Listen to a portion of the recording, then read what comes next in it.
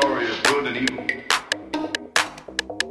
H-A-T-E. It was with this left hand that old brother Cain struck the blow that laid his brother low.